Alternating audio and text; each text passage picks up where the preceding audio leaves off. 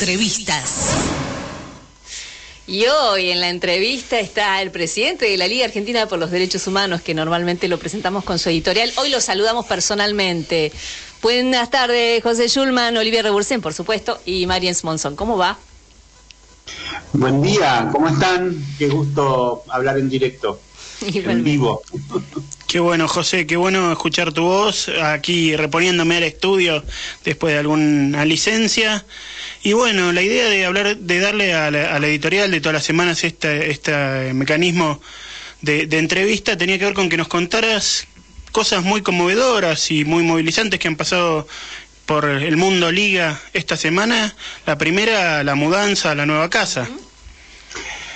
Sí, yo, yo creo que que lo que hicimos esta semana es este, volver, volver, este, volver con todo a, ocupar espacios físicos, este, reinaugurar el espacio, el, local de la liga, un local hermosísimo, lleno de posibilidades. Este, te cuento que ahí podemos hacer eh, cuando pase la pandemia, actos con 100 personas, tenemos terraza para hacer peñas al aire libre, oficinas, este, hay, que, hay que celebrarlo como un gran paso adelante en la capacidad de, actividad de la liga.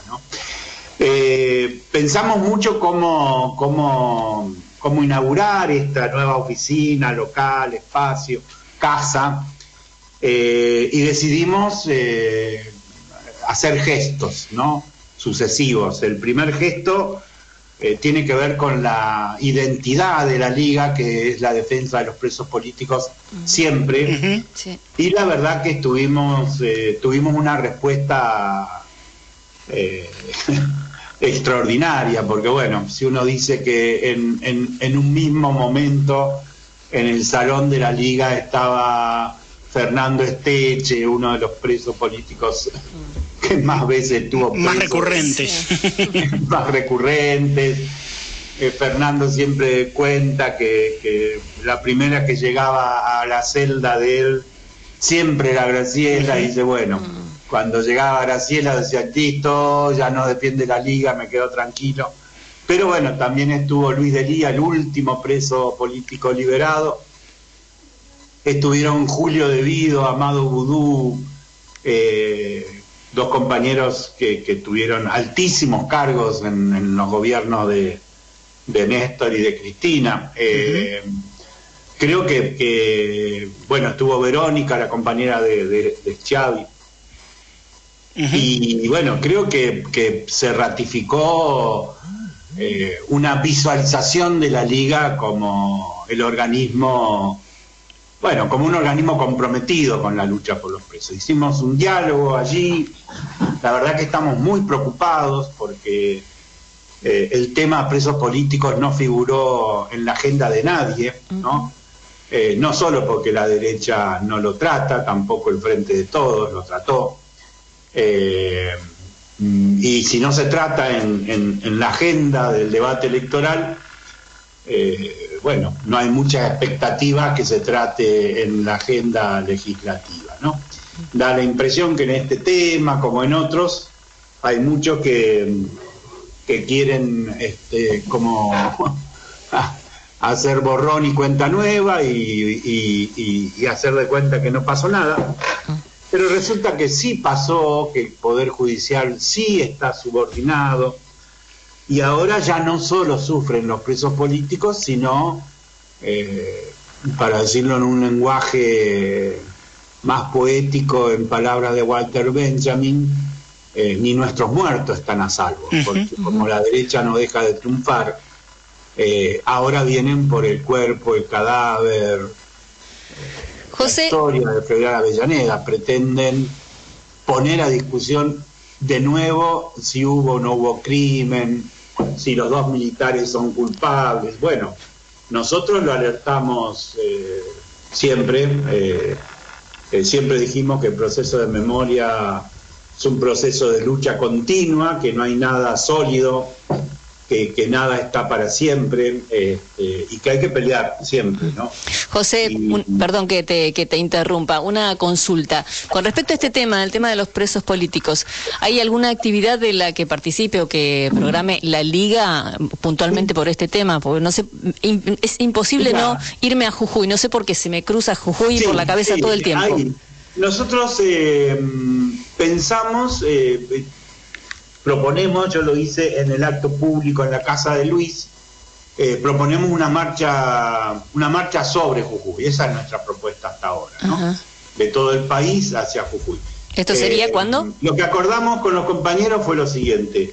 Esta semana que comienza, que la Liga y el Foro por la Democracia y los Presos convoquen a una reunión amplia, o sea, sin ningún tipo de límite para todos los que quieran hacer algo por los presos políticos y acordar con ellos una primera delegación a Jujuy, haríamos rápido, pienso que en este mes, eh, un viaje a Jujuy a conversar con Milagro, pero un viaje de una delegación amplia. Mm. Y desde allí eh, convocar a la marcha. Esa sería nuestra idea, eh, que por supuesto va a depender de que, otros acuerden y, y, se sumen. Pero queremos rápidamente instalar el debate y bueno, como dijo Coco, ¿no? En el acto, recuerdas que, lo pasamos en nuestro programa radio, la intervención de Coco referente a Tupac en la Plaza de Mayo, cuando le pidió a los periodistas eh, que, que, no le hagan la siguiente pregunta, no me pregunten por qué.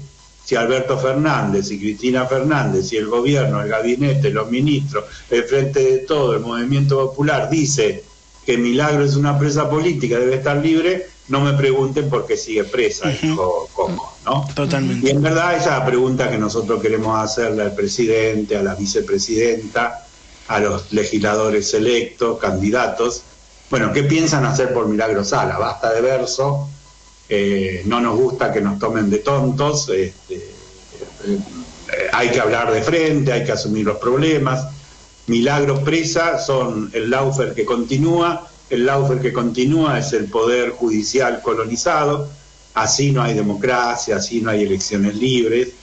Yo creo que muchos de ellos lo saben, este, eh, y bueno, hay que, hay que ayudar a que, como ocurrió en Chile, la Argentina también despierte, ¿no? Hay que sacarla de, este, de esta somnolencia de convivencia con la derecha que es mortal. José es suicida, ¿no? Mm. Sí, José, eh, te escorro un segundito porque una de las notas que ya hemos anunciado con Marian hoy va a ser con Adolfo Pérez Esquivel. Mm. Eh, estamos prestos a firmar un convenio con la Comisión Provincial, seguramente lo hablaremos con él, pero estaría bueno que lo anticipes y que, señales la posición de la Liga al respecto. Mira, em, estamos haciendo eh, grandes esfuerzos por eh, eh, eh, ampliar el espacio de trabajo de la liga, de los, temas. La semana pasada firmamos un acuerdo con el Comité Nacional de Lucha contra la Tortura y la liga ha sido reconocida como un organismo que tiene atributos para ingresar a, los, a las cárceles en principio y a los sitios de encierro, entendemos. Se hará en estos días una capacitación y va a arrancar el, el proceso en, los próximos meses. Eh, las filiales de la liga van a ir ingresando a las cárceles.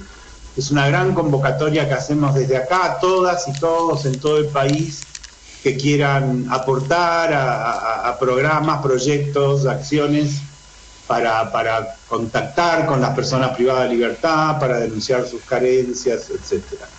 Y el otro acuerdo que ya estamos eh, prontos a firmar, se va a firmar el miércoles, y la verdad que, que, lo firmemos con Adolfo Pérez Quivel es, una alegría para nosotros, porque Adolfo para nosotros no es, no es un, alguien lejano, sino es un hermano, un, compañero de, siempre, ¿no?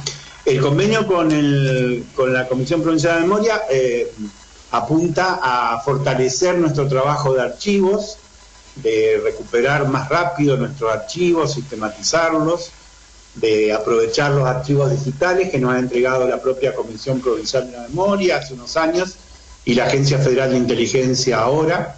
Tenemos, eh, si no me falla la cuenta, unos 1.300 documentos originales propios o sea, propios que nos espiaron a nosotros, y eso estamos decididos a ponerlo al servicio de todos.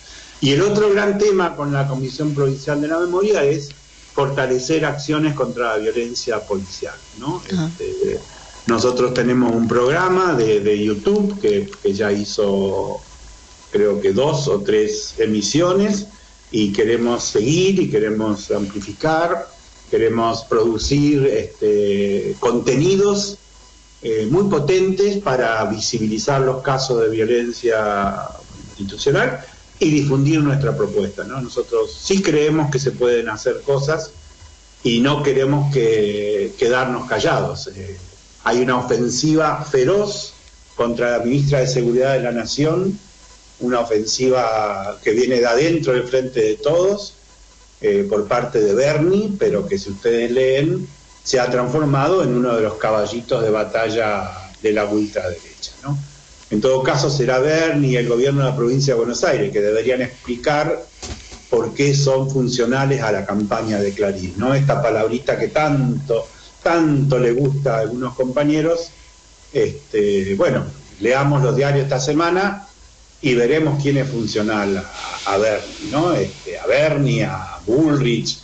Este, estamos muy preocupados porque todo indica que si se desplaza a la ministra y su equipo, eh, no vendrán tiempos mejores, sino todo lo contrario. Toda la prédica es mano dura, gatillo fácil, punitivismo, más cárceles. Bueno, ese es el camino a, la locura, ¿no? Este, es uno de los temas en que la burguesía se suicida, porque por ese camino lo único que hace es aumentar la, la lógica eh, que lleva de la cárcel al delito y del delito a la cárcel y de la cárcel al delito, eh, porque por ese camino no se resuelven los problemas. Los problemas se resuelven con política, con, con, señales de transformación social, una palabra transformación que no se escuchó en la campaña electoral, ¿no? Este, no es lo mismo hacer que transformar, como cualquiera que haya ido a la escuela primaria sabe. Hacer hace cualquiera, transformar hace lo que tiene en voluntad. Nosotros queremos transformar la situación de violencia policial, de violencia institucional, y sinceramente la Comisión Provincial de Memoria hoy por hoy es nuestra mejor aliada, una fuerza muy confiable, muy seria, muy comprometida en este tema, así que pensamos este, que podemos de este trabajo en común eh, hacer cosas para el pueblo. ¿no? Por supuesto, eh, está de más decir que es importante tener en cuenta todo lo que acaba de decir José Schulman eh, a un día de las elecciones primarias, simultáneas y obligatorias, ¿no? Y bueno, la idea también es, cuidarnos no solamente del COVID, sino de, de, los bombardeos diferentes, de los que estaba hablando José precisamente. José Schulman, muchísimas gracias, un gusto, un ah, placer. Felicitaciones por la nueva casa y por todo lo que viene. Ya, prontito subiremos esa escalerita a tomar mate con ustedes. Ay, ojalá una Seguro, no me lo pierdo. Un beso, José. Gracias. Entrevistas. A ligar, mi amor. El programa de la Liga Argentina por los Derechos Humanos.